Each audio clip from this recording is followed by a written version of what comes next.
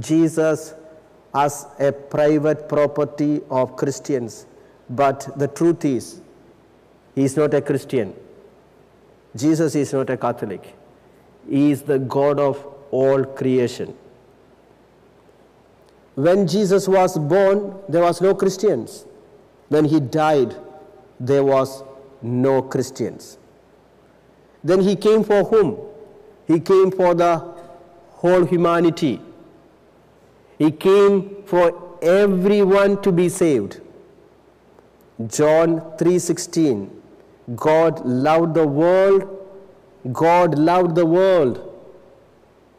The whole humanity that he gave his only son that anyone who believes in him may not be perished but may have eternal life. Romans 3:29 Is he the god of Jews only? Of course not he is also the god of the Gentiles